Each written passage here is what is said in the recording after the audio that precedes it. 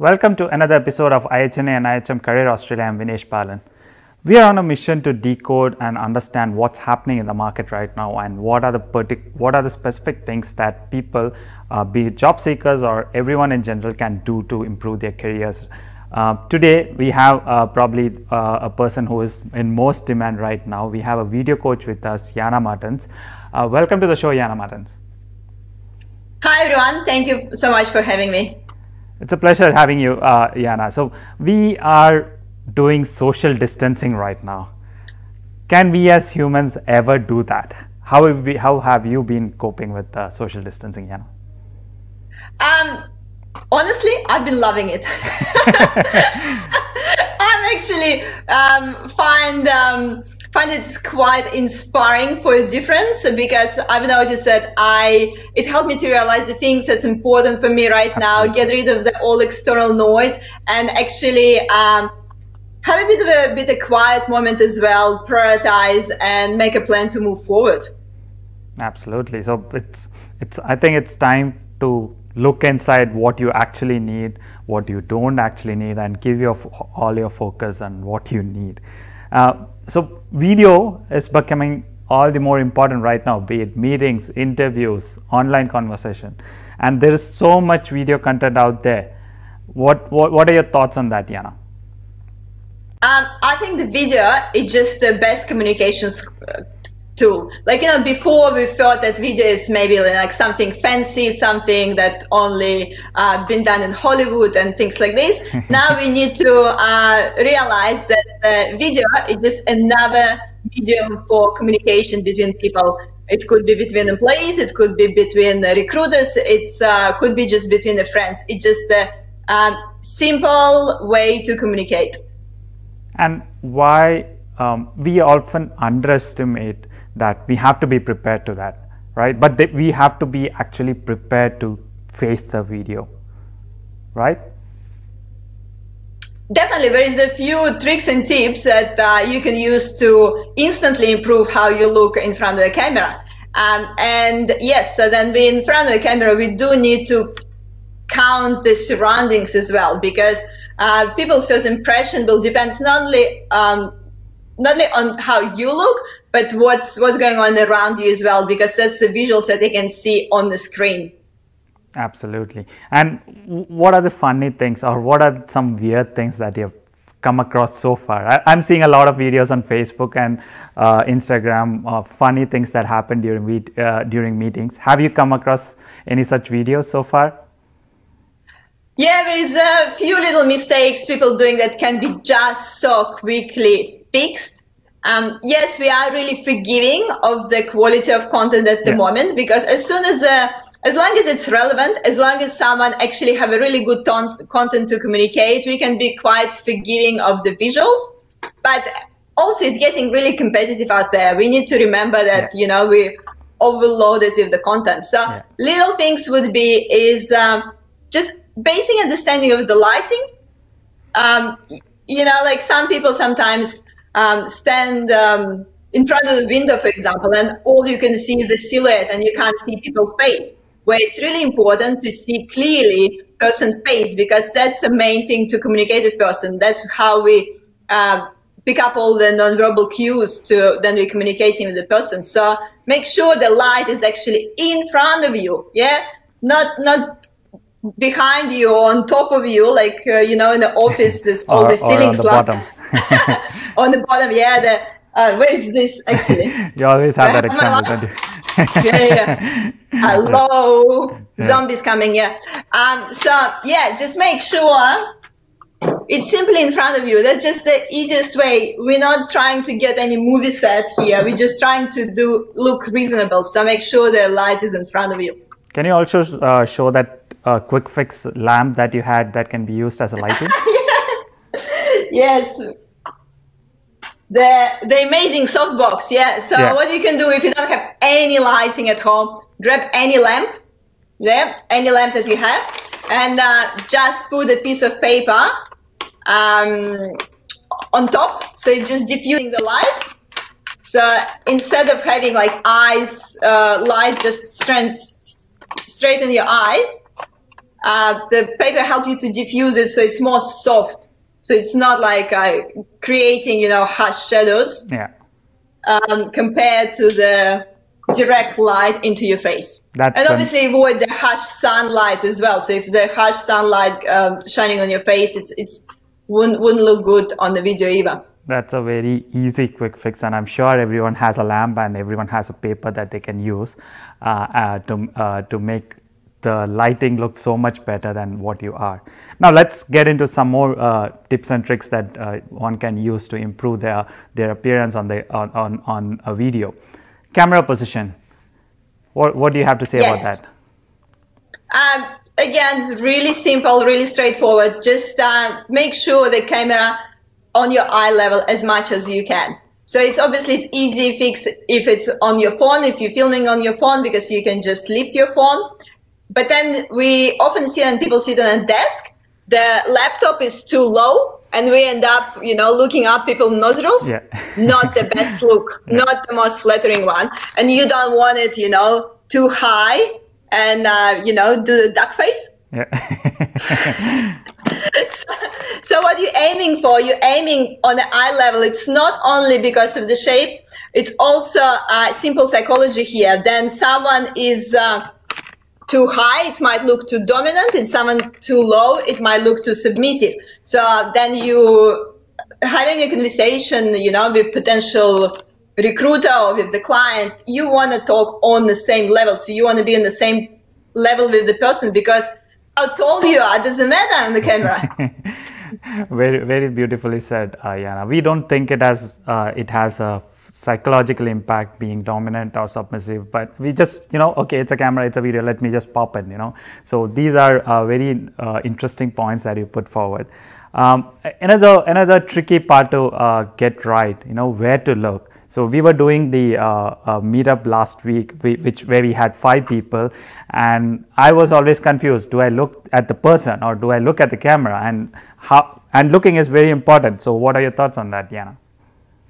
You need to try to look directly into the camera as much as you can. I know it can be tricky, especially if you're trying to read um, other people's uh, facial expressions and reaction, but try to uh, glaze between, between the looking at the people and looking directly at the camera, especially then you're delivering a piece of the information, trying to look directly into the camera. Because if the, there is a few people looking um, at the video screen at the moment, they want this eye contact. Again, simple psychology, you know, and during conversation in real life, we do tend to look in the people's eyes to, to create this trust. So it is a bit more trickier than you trying to look at the person on the screen and trying to look at the camera. So try to, you know, remain the eye contact with both. Absolutely. Thanks, Yana, for that. Now, laptop versus phone. What is your choice and why do you think one is better or both or, or doesn't really matter?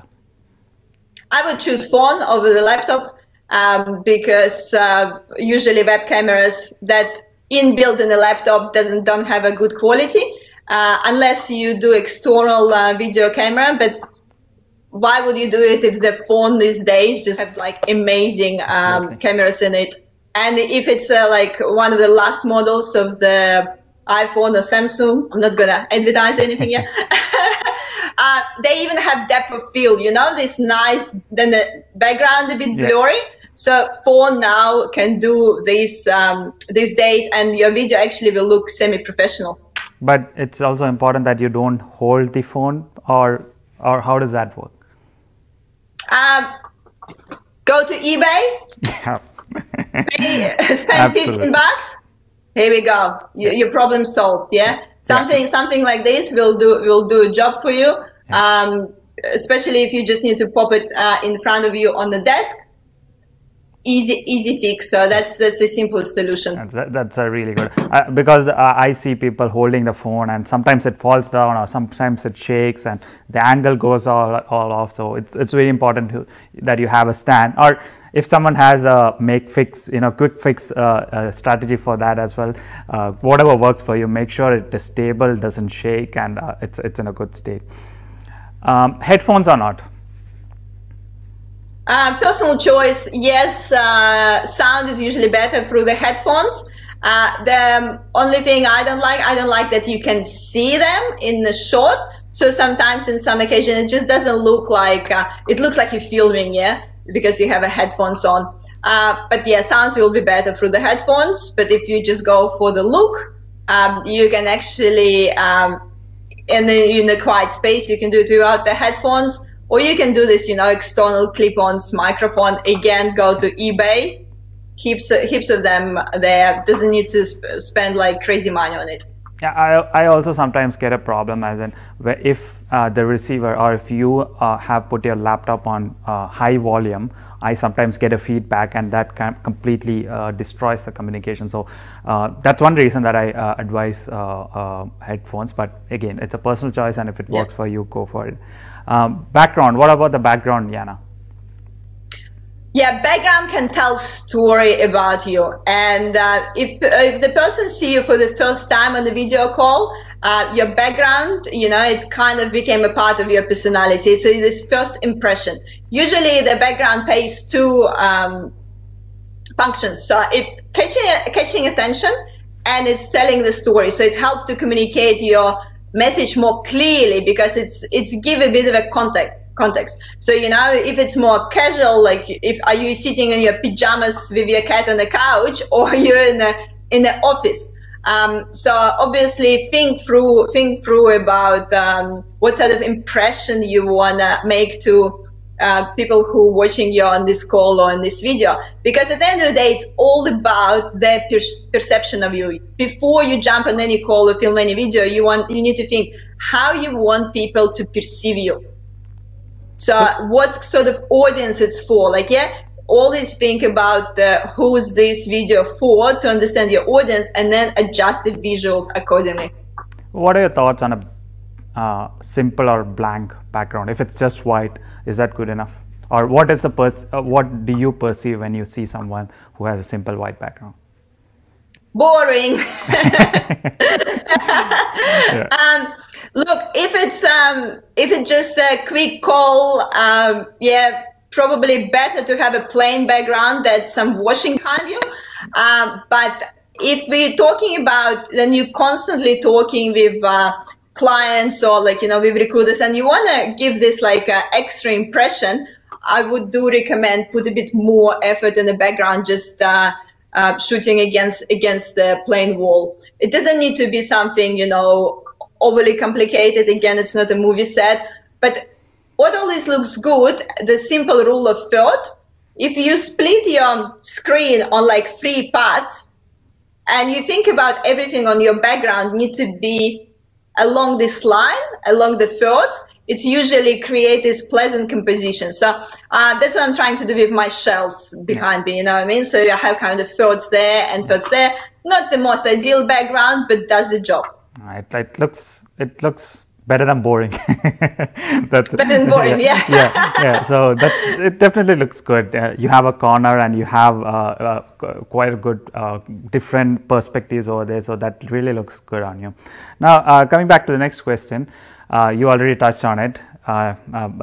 do you dress up or not? I, I know in, in Naishad's inter, uh, webinar that we had last time, you even though we look formal, we usually don't care what's underneath, right? You don't care if you're in shorts or anything. So what, what are your thoughts and what are your suggestions on that?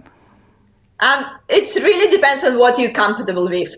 You know, at the moment I'm with like bare feet as well. So it really depends what what's com- feels comfortable for you. If you're the person who want to rock up in a video interview and you know if it feels good, then you fully dress up, do this because it's also help, you know, with your emotional state. If it make you feel more com- comfortable and more confident. But if it doesn't make a difference, if you want to wiggle your toes underneath the desk, yeah. why not? That might work more like distress factor for you. So what I want to say about the clothes, so pick something that you comfortable, um, feeling comfortable in, but also what looks good on camera because what looks look in real life not always looks good on camera so camera really likes usually like bold colors mm-hmm. uh, blue purple um, green so black and white usually be careful because it's uh, depends on the lighting it can look different so i would avoid it and avoid anything that blend with your skin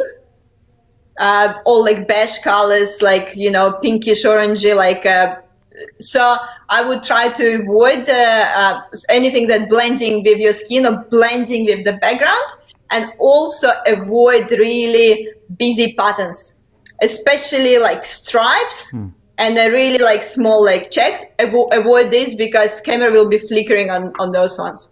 Excellent tips. Any any other special things that we have missed, Yana? I mean, any other tips that you can share? Um, I think it's also important. Think about your non-verbal communication.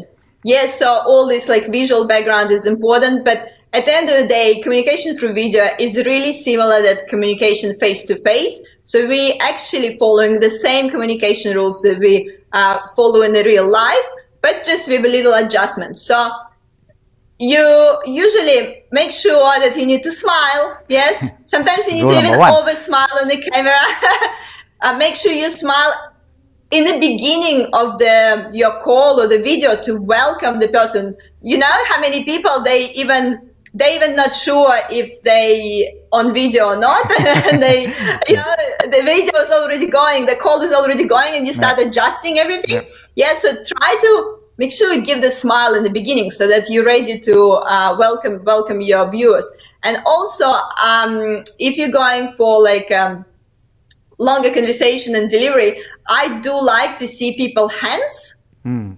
as well uh, because people hands strongly related to thinking and speaking mm-hmm. and then the person uh, show, shows something with the gestures as well it's uh, help us to um, build this trust again so that we feel that person shows the passion and confidence through these hands gestures as well excellent excellent yana thanks for sharing all those insights i'm sure the, uh, th- those would add a lot of value to our viewers if people want to reach out to you how, how can they get uh, reach out to you uh, yana um, the best way is to find me on LinkedIn. Yeah. I live on the LinkedIn 24 7. So it's Yana Martens on LinkedIn, and I do um, daily live show at the moment as well. So if anyone want to join, uh, or you can always visit my website, yanamartens.com. Thank you so much for joining with us today, Yana.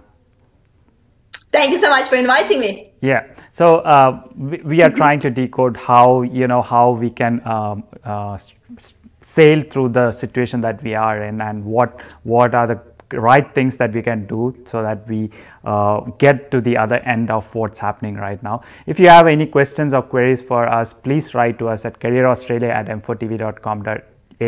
We'll continue inviting uh, experts from different fields to uh, share our insights to you. Uh, so until next, uh, until next time, thank you and bye-bye.